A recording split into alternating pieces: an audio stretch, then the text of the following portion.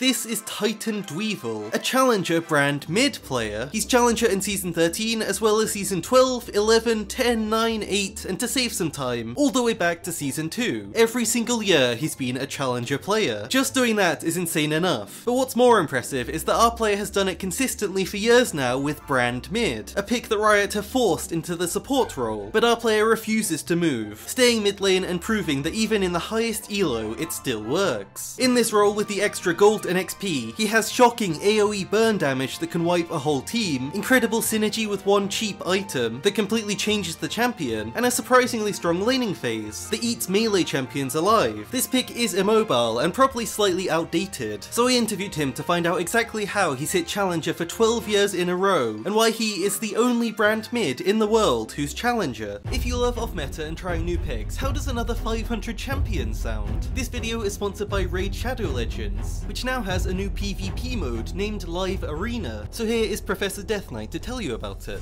Professor Death Knight here with a lesson about Live Arena, the new PvP mode where you can fight against other players in real time. Sounds terrifying? Well, so's going to the dentist. You should still do it. Live Arena has a draft feature where you can pick and ban champions to fight for you. Teamwork. When you win matches, you'll get live arena crests towards unlocking special area bonuses, or so I hear. I'm too afraid to try any of this out. Alright class, any questions? Even Professor Death Knight for Arena. Do not pick me for live arena.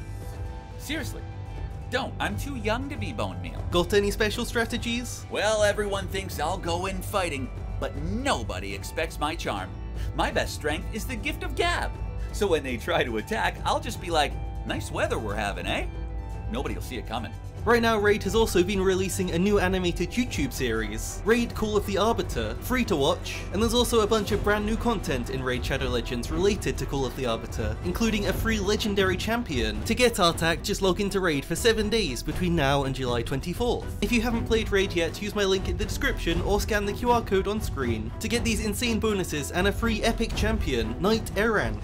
Link in the description. Back to our player, Titan Dweevil, a strange name that comes from his favourite childhood game, Pikmin 2, taking the name of the final boss. But he started League very early, playing from Season 1 at the age of 17. He became obsessed immediately, playing at least 1,500 normal games that season, almost entirely on Twisted Fate. He was hooked. Starting ranked in Season 2, he went from being placed in gold to getting rank 7 on his server, becoming arguably the best Twisted Fate in the world. This was the old ELO system at the time, 2,580 ELO, equivalent to very high Challenger. Season 3 it ramped up even more, becoming one of the early League streamers, and hitting Challenger this year, staying at the top. Season 4, Challenger again, but Season 5 is where his story with Brand Mid begins. He'd played it a little before in support, but since he loved mid lane so much he tried it there. This was old Brand before the rework, so he was mainly focused on super long fights instead of going for burst. However, at the time, his ultimate was pretty much completely random, often ulting the enemy laner and it simply bouncing to a jungle camp instead. It was often quite useless. Ever since Season 5, he's played Brand Mid to Challenger, even then taking a break and going for rank 1 Flex Q Challenger as a solo player, just for an extra thing to do, which he hit in Season 8, terrorizing enemies. Almost every game in High Elo Flex, his three best champions were banned. Enemies queued as 5 players. They knew he was on the other team, but they still couldn't beat him. After hitting rank 1, the following season he went back to solo queue. Since he was so well known as a Brand Mid player in High Elo by this time, the flame wasn't so common. It's really nice to see a player who's respected get to play off meta. Now in season 13, now 30 years old and never missing a season of Challenger, it's truly an insane achievement. But why does he play Brand Mid? What makes him able to play this quite rare pick in high elo and still do well? Well he says the point of Brand Mid is to constantly debuff the enemy team and deal a lot of frontline damage. Normally when he's played support you don't get enough gold to fill that role properly, and you don't really help your AD carry very much either.